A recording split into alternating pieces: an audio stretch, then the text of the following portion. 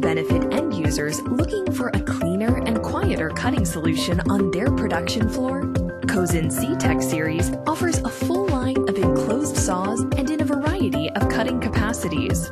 One of our most popular C-Tech models, the C2, is our smallest enclosed saw on the market and is fully programmable and automatic. The C2 utilizes Cosen's heavy-duty post design, allowing the saw head to travel up and down a linear guide system. The dual posts allow for more rigidity and stability during the cut, helping make the C2 perfect for those working in high production settings.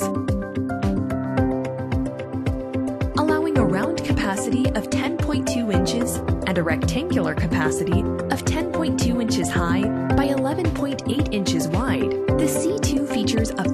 horsepower blade motor and weighs 3,740 pounds. All Cosen C-Tech machines come equipped with Cosen's NC control system, which allows you to easily store up to 100 cutting jobs, index material up to 999 inches, and easily control your workflow, all from an easy-to-use HMI touchscreen display. When combining the saw's programming with Cosen's V-Drive technology, operators are able to achieve faster and quieter cut times.